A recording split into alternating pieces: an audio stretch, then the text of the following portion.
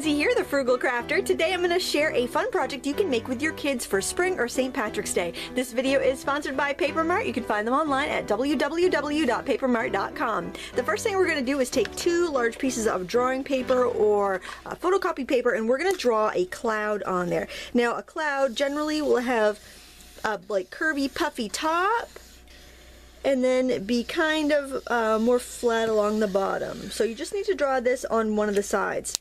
Then we're going to hold these two pieces of paper together and we're going to cut just inside the outline. Just um, try not to let your papers slip apart. And if you have any bumpy edges, you can um, kind of smooth them out when you go to cut them. You just want to cut off the entire black line.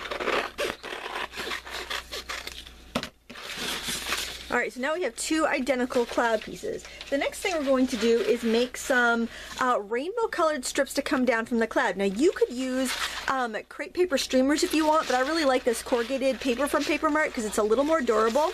And what I did to make the streamers with this and if you're doing a full classroom full of kids or Sunday school kids, I would definitely just use streamers because it's going to be easier. But um, I'm just kind of eyeballing about an inch and a half and just cutting off a strip of the folded paper so that when I unfold it, I'm to have a long strip. Okay, so now what I'm to do is figure out how I want to place them, and I want them to be in rainbow order. So what I'm to do is set aside this top piece, I'm going to work on the inside of the bottom piece and you can use tacky glue, you can use hot glue, um, you can use staples. I'm going to use hot glue because I'm gluing this but again if you're working with children you can either help them with that or you can give them some tacky glue uh, or a staple or whatever you feel more comfortable with and whatever you have enough of to outfit your class. I wouldn't recommend a glue stick just because they don't seem to hold very well and you don't want this falling apart once they get it home. So what I'm doing is just kind of spacing this apart.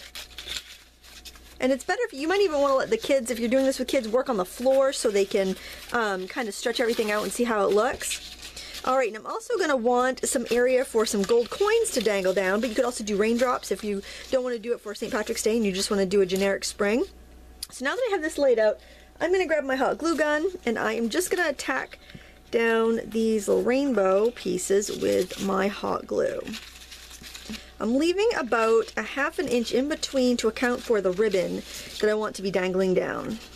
And I cut these the same size as streamers so that if you decided you wanted to use streamers instead, it would still work out about the same. Okay, now I've got some pretty gold ribbon. I want this to be kind of St. Patrick's Day-ish. And I've got this pretty gold ribbon here. And so I am going to kind of pull off kind of a long piece because I want this first piece to be um, like a hanging ribbon as well. So what I'm going to do is match my ends up here and tie a loop. Just make a little knot here and that will protrude over the top of our little cloud. Just doing an overhand knot. Okay, that's going to come out the top. And then these I'm going to let dangle down um, kind of between a couple of these clouds, I think. Like that. So again, with a hot glue, I'm just going to tack that down. You could maybe use glue dots for this if uh, I'm not sure. If you have a nice strong bonding glue dot, that might work. I don't use glue, dots too much because I work in a very cold area and I find that the, the cold temperature helps, prevents them from bonding very well. And then I'm going to put some strips of this down um, in between the other two colors. And I think I'll make these strips a little bit shorter. So I think I'll go like about a foot and a half for each of these. And the other ones are probably dangling down about two and a half feet. So I'm going to cut three the same size so it can kind of balance out a little bit. And I'm just going to do a little dot of glue between each of these other pieces and stick these on top.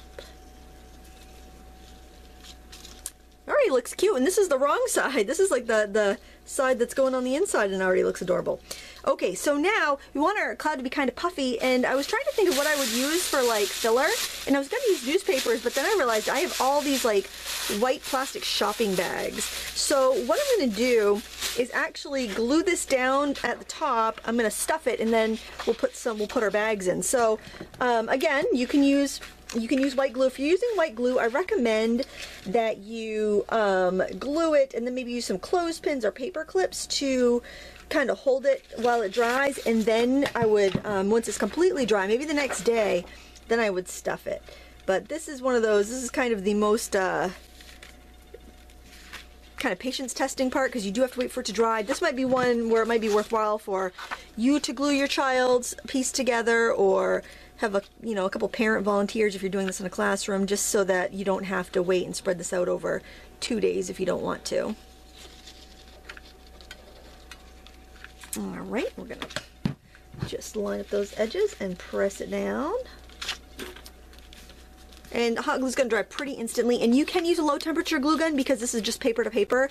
It's uh, It doesn't need to be super high temperature. So while that's, that glue is setting, we're gonna make some gold coins to go to dangle from our um, from our ribbons, but you could also do this in blue or silver and make raindrop shapes. That would be really cute. I have a round punch, so I'm gonna use this, but you could always hand cut round circles.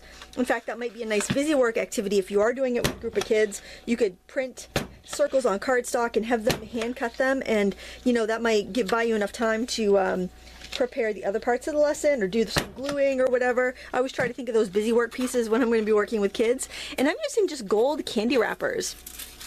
And um, I think that's really, really nice looking. And these come in all different colors. They are from Paper Mart.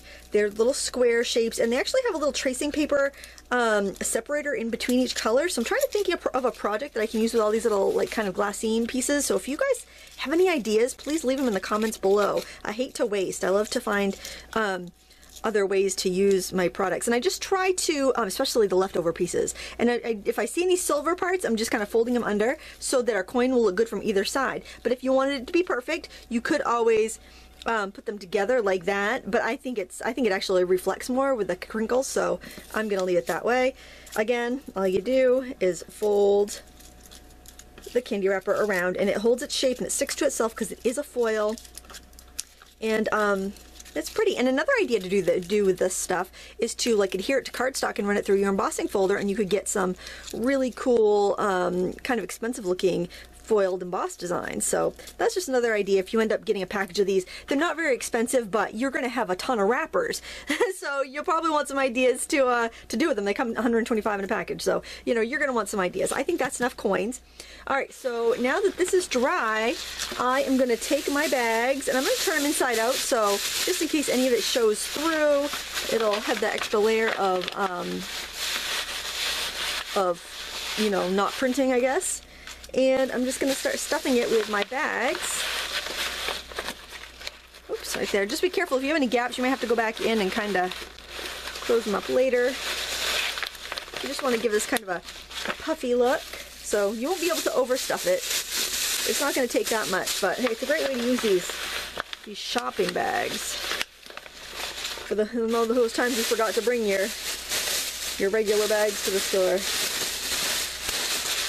see if I can get, I don't know if I can get that one in there. I might just need to re work these. And you know what? I know a lot of places ban shopping bags, so if you don't have shopping bags, use newspaper. That's fine. Any newspaper will work.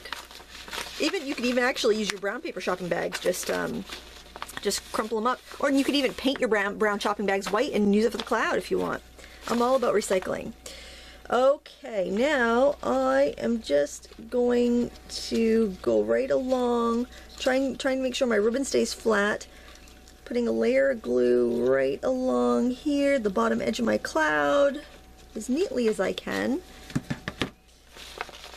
And then I'm just going to press this, and you will need to hold it a little bit, but you can hold it above where you put the glue so you don't burn yourself. But again, this is not, that this part right here is not for kids to do if you're using hot glue. If you're using white glue, then like I would recommend like a thick and tacky glue, then maybe um, put a piece of wax paper and a book down on top so it can hold it um, squished shut while it dries. So that's really important. If you are going to use a, a tacky glue to have like clothespins or clips or books or something that you can use to hold it together as it dries. All right, I think that's gonna hold now. So we got our puffy cloud, and we got our lovely rainbow, and now we're gonna glue our coins onto the golden strips. And of course, you know, if you don't like the look of that, you don't have to do it. I'm gonna start at the bottom, because I don't know how many I'm gonna want, so I think I'll just start at the bottom and work my way up. And you only need a tiny drop. I put way too much on that one. And it's when you get too much glue, that's when you end up burning yourself. So, word to the wise, don't do what I just did. Do that.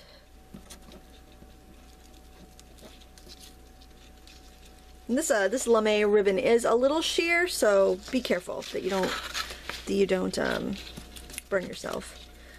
I'm just making the pretty side on the side that um, that is going rainbow order, but you know it's completely up to you. It's it even, it's even pretty on the back side. You, I mean, not a big deal at all. Once the glue is dry, you can hang it by its top loop in a window because it's going to be pretty from both sides, in the middle of a room, from the ceiling, or even on a wall. It's going to look great no matter where you decide to hang it. Hope you tried this project. Let me know if you do in the comments below and let me know how it turned out. Thank you so much for watching. Don't forget to check out our sponsor Paper Mart. You can find them online at www.papermart.com. Packaging for less. Thanks for watching. Until next time, happy crafting.